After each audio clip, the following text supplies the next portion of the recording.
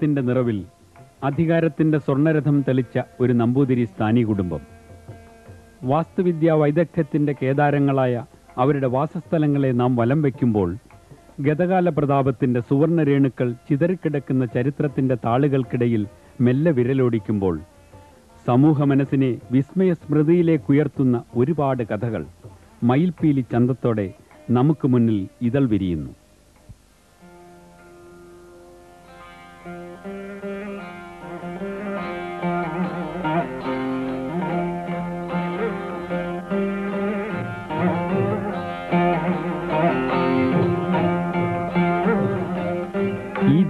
പവിത്രമത്രേ നിർദ്ദേശങ്ങൾ ആജ്ഞയത്രേ ചലനമോ എഴുന്നള്ളത്ത് ആഹാരം അമൃതത്ത് മനുഷ്യരിൽ ഏറ്റവും പൂജ്യനീയം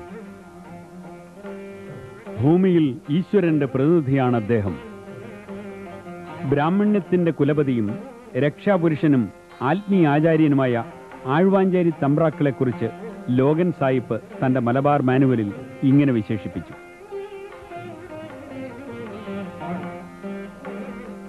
മാമാങ്ക ചാവേറിന്റെ ചോരക്കറ പുരണ്ട തിരുനാവായിൽ നിന്ന് നമുക്ക് നടക്കാം.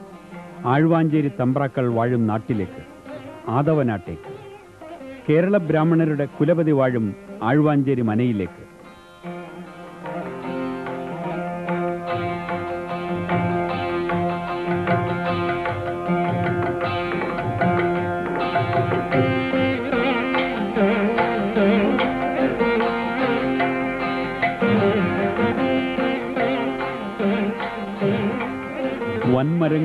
വിരിച്ച വിശാലമായ മനപ്പറമ്പിൽ ഗതകാല പ്രതാപത്തോടെ തലയുയർത്തി നിൽക്കുന്ന കേരളത്തിലെ ഏറ്റവും ശ്രേഷ്ഠമായ ഈ ബ്രാഹ്മണ ഗ്രഹത്തിനകത്തും പുറത്തുമായി ചരിത്രമുറങ്ങുന്നു. ഇരുപത്തിനാല് കെട്ട് എന്ന് പറയപ്പെടുന്ന എട്ട് നടുമുറ്റങ്ങളോടുകൂടിയ പുല്ലുമേഞ്ഞ ഒരു പടുകൂറ്റൻ എടുപ്പായിരുന്നു പഴയ ഗ്രഹം. കൊല്ലവർഷം ആയിരത്തി ഇരുപത്തിയഞ്ചിൽ മനയിൽ ഒരു അഗ്നിബാധയുണ്ടായി. കുളപ്പുര ഒഴികെ ബാക്കിയെല്ലാം അന്ന് അഗ്നിനാളങ്ങൾ വിഴുങ്ങി.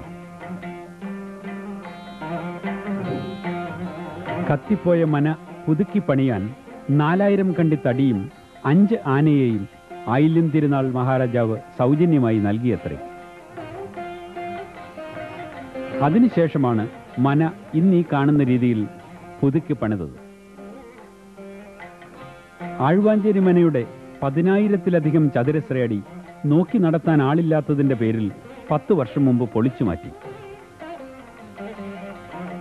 ഊരാളന്മാർ അടിയാന്മാർ കുടിയാന്മാർ കാര്യസ്ഥന്മാർ കഴകക്കാർ മറ്റ് കാര്യവിചാരങ്ങൾക്കായി എത്തുന്നവർ തുടങ്ങി ദിവസവും അനേകം പേരുടെ വിഹാരങ്ങൾക്കായി ഉപയോഗിക്കപ്പെടും വിധം നിർമ്മിക്കപ്പെട്ട പ്രധാന ഗ്രഹവും ഉപഭവനങ്ങളും എല്ലാം ഇന്ന് ഒരു മയക്കത്തിൽ ആണ്ടുകിടക്കുന്നു.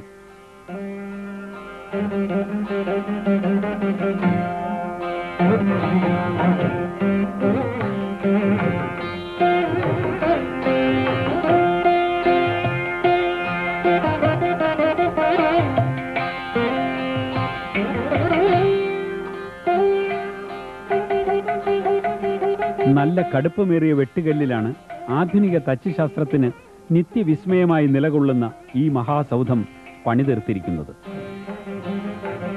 ഒന്നരക്കോൽ ഭിത്തിവണ്ണം. കല്ലും മരവും സുഭിക്ഷം. ചെത്തിത്തേക്കാത്ത ചുമരാണ് അധികവും. മുതുമുത്തച്ഛന്മാരുടെ കാലത്ത് ആരോ ഒരാൾ ഈർക്കിൽ കൊണ്ട് കുത്തി നോക്കിയാണത്രേ കല്ലിനിടയിലെ വിടവുകൾ അത്രയും അടച്ചത്.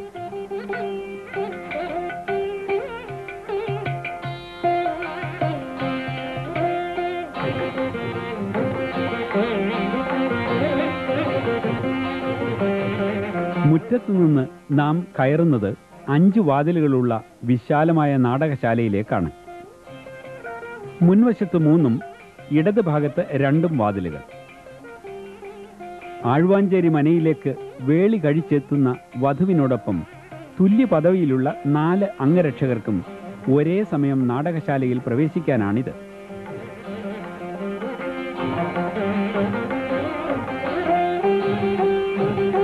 ഇതിലെ പടിഞ്ഞാട്ടുള്ള മൂന്ന് വാതിലുകൾ സാധാരണ തുറക്കാറില്ല. തുറക്കാത്ത വാതിലുകളിൽ കാണപ്പെടുന്ന ഈ മുറിവുകൾ ആയിരത്തി തൊള്ളായിരത്തി ഇരുപത്തിയൊന്നിലെ മാപ്പിള ലഹളയുടേതാണ്. മാപ്പിള ലഹള കാലത്ത് രണ്ടു തവണ മന ആക്രമിക്കപ്പെട്ടു. അടിയന്തര ഘട്ടങ്ങളിൽ വാതിൽ പോലെ ഉപയോഗിക്കാവുന്ന ഈ സൂത്രജാലകം വഴിയാണത്രേ അന്ന് മനയിലുള്ളവർ രക്ഷപ്പെട്ടത്.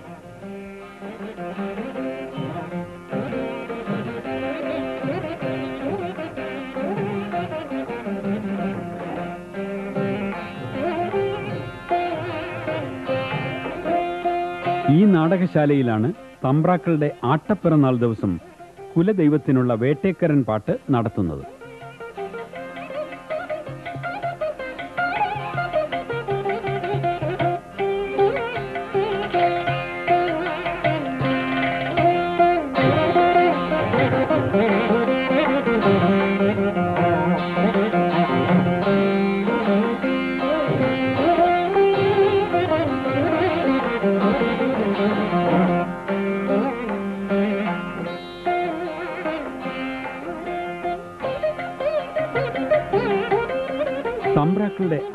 ചിഹ്നമായ വാളും പരിചയും ഇന്ന് ചുമരിൽ നിത്യവിശ്രമത്തിലാണ്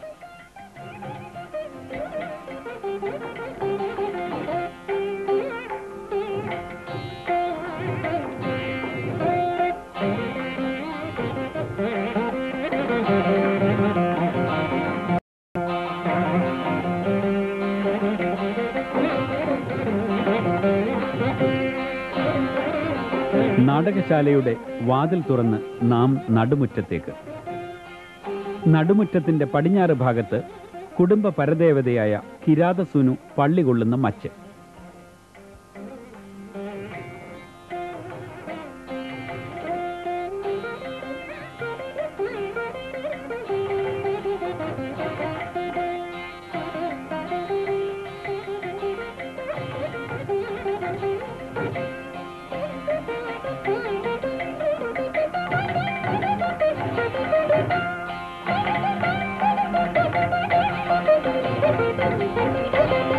കേരളീയ വാസ്തുവിദ്യാ സങ്കല്പം അല്പം വഴിമാറുന്ന പ്രധാന നാലുകെട്ടിനോട് ചേർന്ന് സ്ത്രീകൾക്ക് മാത്രമായി മറ്റൊരു നാലുകെട്ട്. അതിനുമുണ്ട് തെക്കിനി വടക്കിനി കോലായ നടുമുറ്റം എന്നിവ.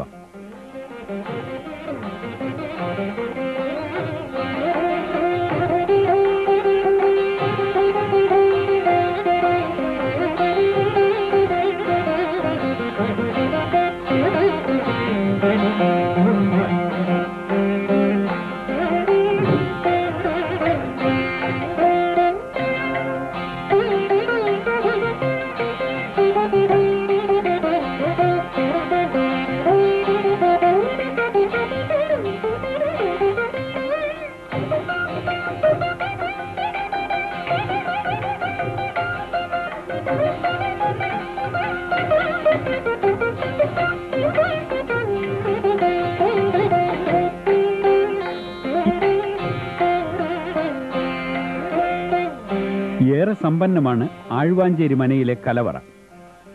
അനേകം നാലുകാതൻ ചെമ്പുകളും ആനക്കാതൻ ചരക്കുകളും മാടമ്പി വിളക്കുകളും ഇന്ന് ഇവിടെ നിത്യവിശ്രമത്തിലാണ്.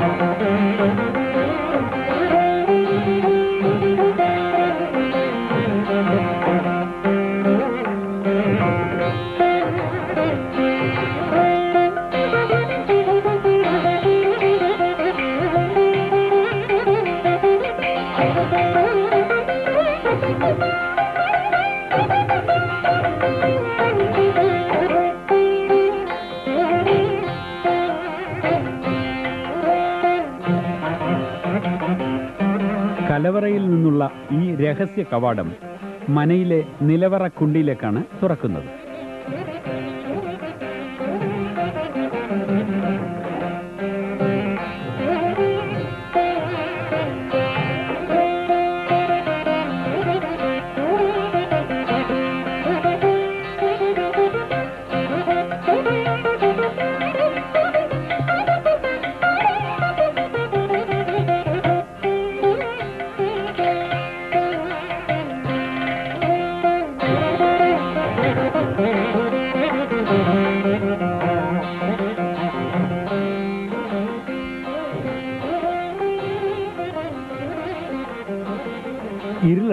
വാതായനങ്ങളും ഇടുങ്ങിയ കോണിപ്പടികളും കയറി നാം ചെന്നെത്തുന്നത് ആഴ്വാഞ്ചേരി തമ്പ്രാക്കളുടെ വിശാലമായ കിടപ്പറയിലേക്കാണ്.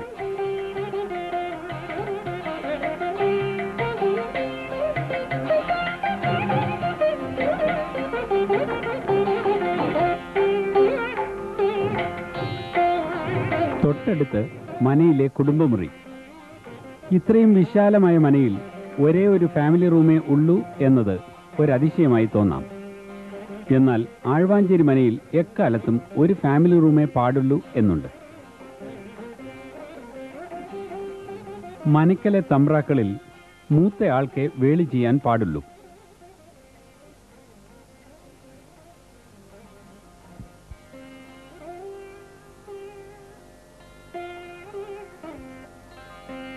അധികാരത്തിന്റെ വർണശബളിമ ഒട്ടുമില്ലാതെ പൂമുഖപ്പടിമേൽ ചമ്രം പടഞ്ഞിരുന്ന് കഴുത്തിലണിഞ്ഞ പഞ്ചമുഖ രുദ്രാക്ഷം തടവി എളിമയുടെ പ്രതീകമെന്നോണം നമ്മോട് സംസാരിക്കുന്ന ഈ ചരിത്രപുരുഷൻ ആഴ്വാഞ്ചേരി തമ്പ്രാക്കളാണ്.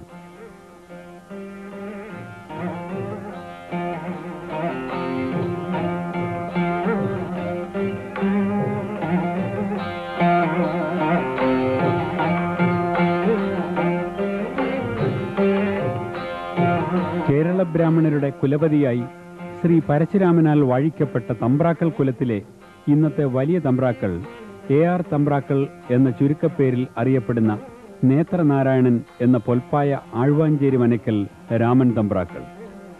ആദിശങ്കരന്റെ ഗുരുനാഥനും ഗുരുവായൂർ ക്ഷേത്രത്തിലെ പൂജാവിധികൾ അത്രയും ചിട്ടപ്പെടുത്തിയ പോയ തലമുറയിലെ അതിശ്രേഷ്ഠന്മാരുമായ ആഴ്വാഞ്ചേരി തമ്പ്രാക്കന്മാരുടെ ഇളമുറ. കേരളപ്പഴമയുടെ പുറം തോടിളക്കിയാൽ കാണാം നേത്രനാരായണന്റെ പുരാവൃത്തം. ഇതിൽ ചരിത്രമുണ്ട് ഐതിഹ്യമുണ്ട് വാമൊഴിയുണ്ട് വരമൊഴിയുമുണ്ട്. പരശുരാമൻ കേരളത്തിൽ അറുപത്തിനാല് ഗ്രാമങ്ങളിൽ കുടിയിരുത്തിയ നമ്പൂതിരിമാരെ ആഭിജാത്യക്രമത്തിൽ ആഢ്യൻ വിശിഷ്ട ബ്രാഹ്മണൻ സാമാന്യ ബ്രാഹ്മണൻ ജാതിമത്രയൻ സാങ്കേതികൻ ശാപഗ്രസ്തൻ പാപിഷ്ടൻ എന്നിങ്ങനെ ഉപജാതികളായി വിഭജിച്ചപ്പോൾ ആഢ്യബ്രാഹ്മണനും മുകളിൽ ആത്മീയാചാര്യ സ്ഥാനം നൽകി തമ്പ്രാക്കളെ അവരോധിച്ചുവത്രേ. പാരമ്പര്യമായി തമ്പ്രാക്കൾക്ക് ലഭിച്ച നാല് പൗരോഹിത്യ പ്രവൃത്തികൾ ഭദ്രാസനം സർവമാന്യം ബ്രഹ്മസാമ്രാജ്യം ബ്രഹ്മവർച്ചസ് എന്നിവയാണ്. അവ ആചന്ദ്രതാരം പരമ്പരയാ വഹിക്കാവുന്നതും യഥാവിധി അനുഷ്ഠിക്കേണ്ടതും തമ്പ്രാക്കളുടെ കർത്തവ്യമാകുന്നു.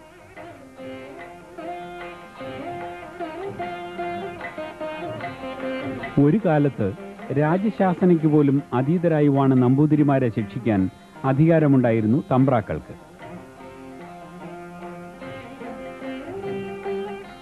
ഇന്നും ബ്രാഹ്മണരുടെ ആചാരാദി കാര്യങ്ങളിൽ അപ്പീലില്ലാത്ത അവസാന തീർപ്പ് കൽപ്പിക്കാൻ തമ്പ്രാക്കൾ വേണം.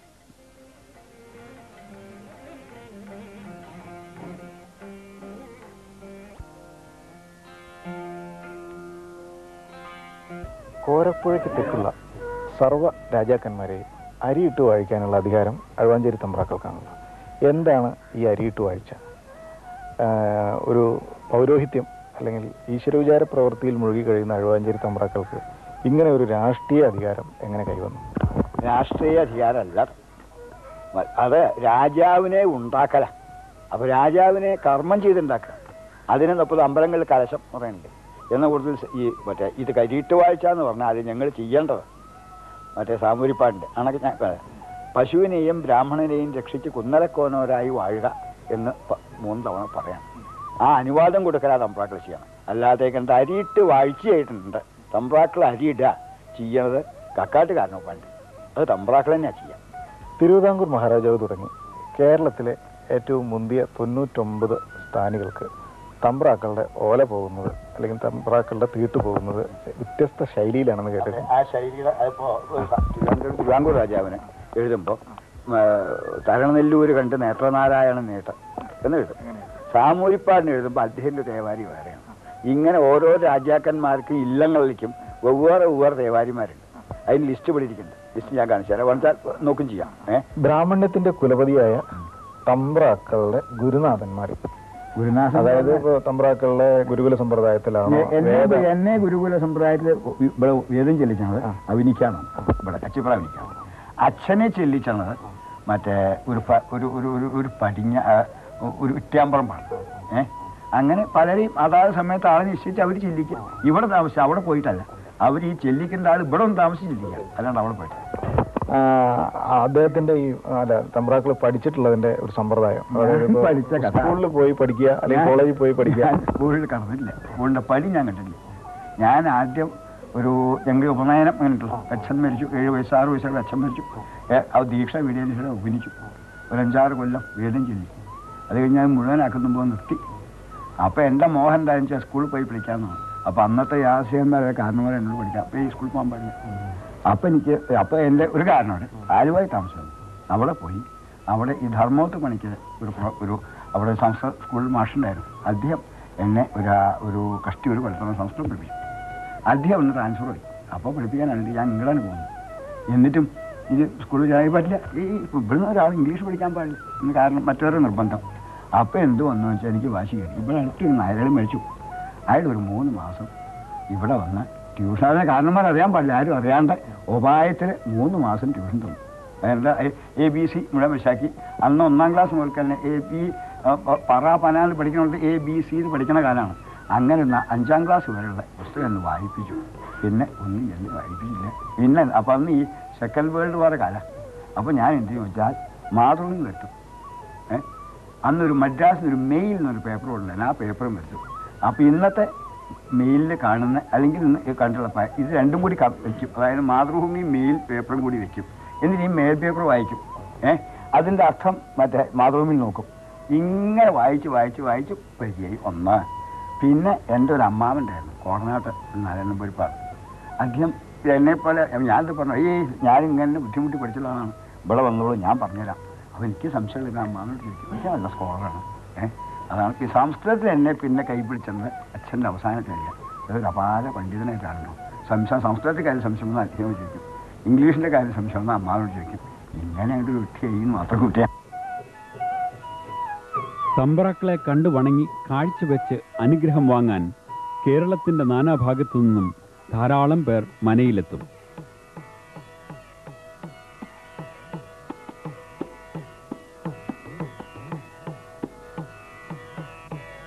വലിയ തമ്പ്രാക്കളുടെയും അമ്മ തമ്പ്രാന്റെയും മുന്നിൽ വെച്ച നാക്കിലയിൽ വെറ്റില അടയ്ക്ക കാഴ്ചപ്പണം എന്നിവ വെച്ച് വന്നവർ നമസ്കരിക്കും.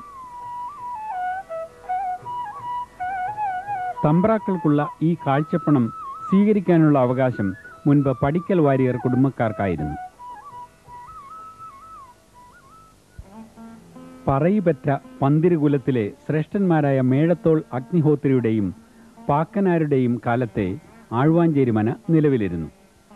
അഗ്നിഹോത്രിയുടെ തൊണ്ണൂറ്റിയൊൻപത് സോമയാഗങ്ങളിലും മഹർത്തിക് ആയ ബ്രഹ്മൻ ആഴ്വാഞ്ചേരി തമ്പ്രാക്കളായിരുന്നത്രേ.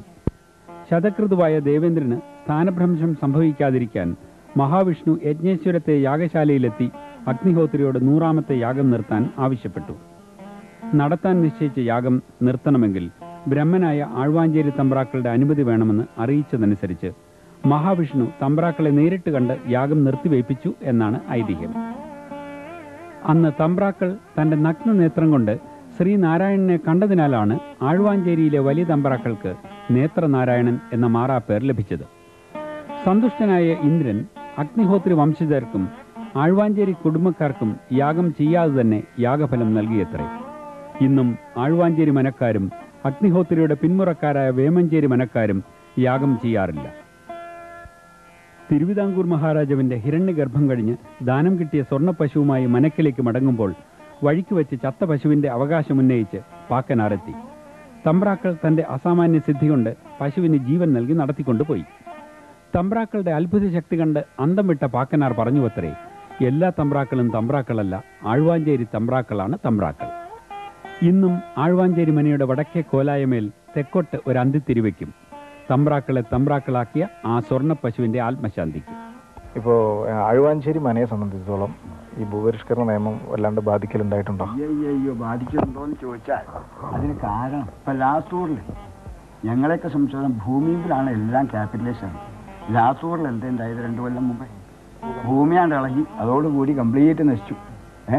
അത് ഇതിപ്പോ ഇതിപ്പോൾ എല്ലാത്തിനും അവസാനം നമ്മൾ ബേസ് ഏതാച്ചാൽ അത് ഇളകിയാൽ കഴിഞ്ഞില്ല? അത് ഞങ്ങളെ സംബന്ധിച്ച് ആകെ നശിച്ചു. ഇപ്പം എന്തോ കുറച്ച് തെങ്ങുണ്ട്. അന്ന് വെച്ചുണ്ടാക്കിയിട്ടുണ്ട്. അതുകൊണ്ട് കഴിഞ്ഞു. ഭൂപരിഷ്കരണ നിയമത്തിന് മുന്നേ എങ്ങനെ പാട്ടം എത്ര കിട്ടുമായിരുന്നു? പത്തറുപതിനായിരം പറഞ്ഞതിൽ പാട്ടം കിട്ടാൻ. ഇപ്പോഴത്തെ അവസ്ഥ എങ്ങനെ? ഈ ഇല്ലവളപ്പ് മാത്രം വേറെ കാലത്തിന്റെ കുത്തൊഴുക്കിൽ. ഇപ്പൊ വേദവും വേദാന്തവും വരെ അന്യം നിന്ന ഇക്കാലത്ത് പുതിയ തലമുറ ബ്രാഹ്മണ്യത്തിൽ നിന്ന് കുറച്ച് വളർന്നു പോകുന്നുണ്ട്. അപ്പൊ അത്തരം ഒരു അകൽച്ച അത് ഒരുപക്ഷെ സമുദായത്തിന്റെ അല്ലെങ്കിൽ നമ്മളെ കാലത്തിനത്ത് മാറ്റം തന്നെ വേണമെങ്കിൽ പറയാം. അത്തരം ഒരു അകൽച്ച ഇപ്പൊ തമ്പ്രാക്കൾ എങ്ങനെ നോക്കി കാണണം എങ്ങനെയാ നോക്കി കാണാന്ന് പറഞ്ഞാൽ ഈശ്വര മറ്റേ ഈ ദൈവാധീനം പിന്നെ പിന്നെ ഇല്ലാണ്ടാവേണ്ട ആൾക്കാന്ന് മാത്രമേ എനിക്ക് പറയാൻ തോന്നുന്നു ആ ക്രമേണ നിശ്ചയ നിശ്ചയിച്ചോ എന്റെ കാരണവന്മാർ ചെയ്തിട്ടുള്ള എനിക്ക് ചെയ്യാൻ പറ്റില്ല. എന്റെ അച്ഛൻ ചെയ്ത് മുത്തശ്ശൻ മുത്തശ്ശൻ ചെയ്യണത് അച്ഛന് ചെയ്യാൻ പറ്റില്ല. അച്ഛൻ ചെയ്ത് എനിക്ക് ചെയ്യാൻ പറ്റില്ല. ഞാൻ ചെയ്യണത് എന്റെ മകന് പറ്റില്ല. അത് ഈ കാലമാറ്റം. കാലമാറ്റത്തിന് യാതൊന്നും കൊണ്ട് തടുക്കാൻ പറ്റില്ല. കേരളത്തിലെ ഏറ്റവും ശ്രേഷ്ഠമായ ബ്രാഹ്മണ ഗ്രഹമാണല്ലോ അഴുവഞ്ചേരി മന ഇതിന്റെ ശില്പി ആരാണ്? ശില്പി എന്ന് പറയുന്നത് ശില്പി എന്ന് പറയുന്നത് ഇപ്പോൾ ഇത് തച്ചുശാസ്ത്ര പ്രകാരം ഏറ്റവും കണക്കും- ഈ പേര് ഈ പേ- ഈ പേര. അത് മറ്റേ കാണിപ്പിയാണ് ലഭ്യനാണ് ഏഹ് അത് എന്റെ മുത്തശ്ശന്റെ അച്ഛന്റെ കാലത്ത്. ഏഹ് അതിപ്പോ ഏഹ്, മറ്റു മനകളിൽ നിന്ന് എന്തെങ്കിലും വ്യത്യസ്തത ഈ മനസ്സിലാക്കിയില്ല. വലിപ്പം കൊണ്ട് കുറച്ചൊക്കെ ചില ചില മാറ്റം വല്ല വേറെ വ്യത്യാസം ഞങ്ങൾക്ക് വ്യത്യാസമുള്ളത് കാർമിക. ഉദാഹരണത്തിന് പാഴുവാഞ്ചേരി തമ്പ്രാക്കളെ മണി തൊഴിൽ മണി തൊട്ട് മണി തൊടിൽ ആ, കൊട്ടണ മണിയില്ല അടിക്കണ മണിയില്ല. കാരണം ഈ അടിക്കണ മണിയുടെ ഉദ്ദേശം എന്താ ദേവനെ ഉണർത്തണം ഈ തമ്പ്രാക്കൾ അപ്പൊ എന്നിട്ട് അപ്പോൾ ഒരു കോളിംഗ് ബെൽ പഴയ കോളിംഗ് ബെല്ലാണ് തമ്പ്രാക്കളെ ഏത് ക്ഷേത്രത്തിൽ ചെന്നാലും ഈ തമ്പ്രാക്കളങ്ങൾ തമ്പ്രാക്കൾ അങ്ങോട്ട് കാൽ വെച്ചാൽ ആ ദേവൻ അങ്ങോട്ട് തിരിഞ്ഞിരിക്കുന്ന ആ സങ്കല്പം. അപ്പോൾ പിന്നെ അവർക്ക് താൻ ഉണർന്നിരിക്കുമ്പോൾ തന്റെ അവിടെ നിന്നിട്ട് ആഢ്യന്മാരിലും മുന്തിയ തമ്പ്രാക്കൾക്ക് ആധ്യാത്മികതയുടെ പരിവേഷം പുരണ്ട സവിശേഷമായ ഒരു ജീവിത രീതിയാണ് വിധിച്ചിരിക്കുന്നത്. ഒരുപാട് വിലക്കുകൾ. ആഴ്വാഞ്ചേരിയിലെ മൂത്ത തമ്പ്രാക്കൾ മാത്രം വംശം നിലനിർത്താൻ വിവാഹിതനാകുന്നു. ബാക്കിയുള്ള തമ്പ്രാക്കൾ എല്ലാവരും പരിപൂർണ ബ്രഹ്മചര്യം അനുഷ്ഠിച്ച് ജിതേന്ദ്രിയന്മാരായി ഈശ്വര സേവയിൽ മുഴുകി മനയിൽ തന്നെ താമസിക്കും. ആധാരങ്ങളിലും മറ്റ് രേഖകളിലും തമ്പ്രാക്കളുടെ പ്രവൃത്തി ഈശ്വര വിചാരം എന്നാണ്.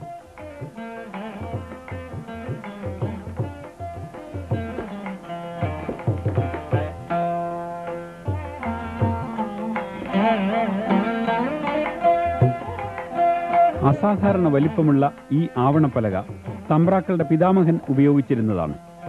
അദ്ദേഹം ശിരസിലണിഞ്ഞ രുദ്രാക്ഷമാലയാണ് തമ്പ്രാക്കളുടെ കഴുത്തിൽ. തമ്പ്രാക്കൾക്ക് സ്വന്തം മണ്ണിലെ പാദസ്പർശം പാടുള്ളൂ എന്നുണ്ട്. ഒരു കുട്ടയിലാക്കിയ മനപ്പറമ്പിലെ മണ്ണ് വിതറി ഒരു പരിചാരകൻ മുമ്പിൽ നടക്കുമായിരുന്നത്രേ പഴയകാലത്തെ തമ്പ്രാക്കളുടെ യാത്രാവേളകൾ. അഞ്ചേക്കറിൽ പരന്ന് പടർന്നു കിടക്കുന്ന ഈ മഹാസൗധത്തിനകത്ത് ഇന്ന് താമസിക്കുന്നത് ഒരു കുട്ടിയടക്കം അഞ്ചു പേരാണ്. എ ആർ തമ്പ്രാക്കൾ പത്നി ആര്യാദേവി തമ്പ്രാക്കൾ എന്ന അമ്മ തമ്പ്രാൻ മകൻ കൃഷ്ണൻ തമ്പ്രാക്കൾ എന്ന കൊച്ചു തമ്പ്രാൻ ഭാര്യ രജനി തമ്പ്രാക്കൾ എന്ന കുഞ്ഞി കുഞ്ഞിത്തമ്പ്രാൻ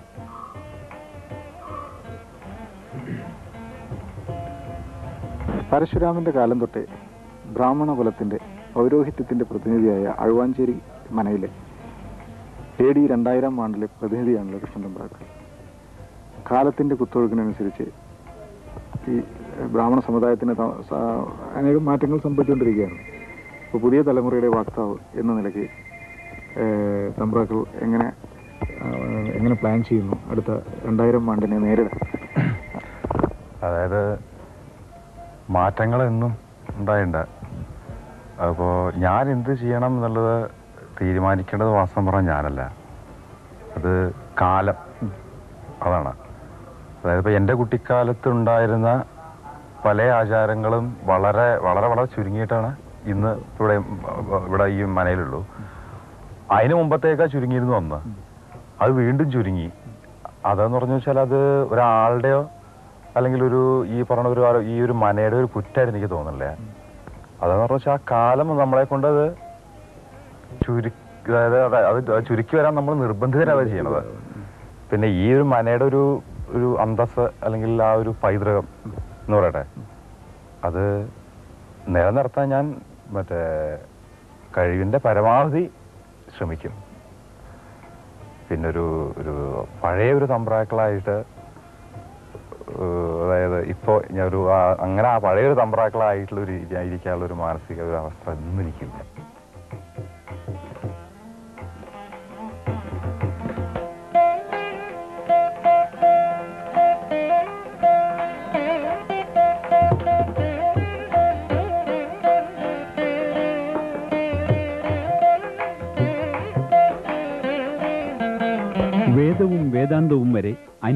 അന്യം നിന്ന ഈ കാലത്ത് ചരിത്രത്തിന്റെ അക്ഷയഖനിയും നെഞ്ചിലേറ്റി ബ്രാഹ്മണ്യത്തിന്റെ കുലപതിയായ ഈ ഇതിഹാസ പുരുഷൻ ആഴ്വാഞ്ചേരി തമ്പ്രാക്കൾ ഒരു നിത്യവിസ്മയമായി നമുക്ക് മുന്നിൽ അവശേഷിക്കുന്നു. നിള സകലത്തിനും കർമ്മസാക്ഷിയാണ്. പന്തിരുകുല പഴമയ്ക്കും ആഴ്വാഞ്ചേരി പെരുമയ്ക്കും അമ്മയായി പാരമ്പര്യത്തിന്റെ നിറകുംഭം പേറുന്ന വള്ളുവനാടൻ ജനപദങ്ങളെ ഹരിതാഭമാക്കുന്ന ജലസാമീപ്യമായി എന്നും ഇതുവഴി നിള ഒഴുകിക്കൊണ്ടേയിരിക്കുന്നു. വരും തലമുറയിലെ ചരിത്രാന്വേഷികൾക്ക് സമ്മാനിക്കാൻ ഒരു പിടി ഓർമ്മകളുമായി.